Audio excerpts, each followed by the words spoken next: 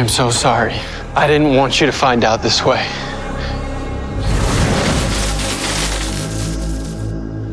Go!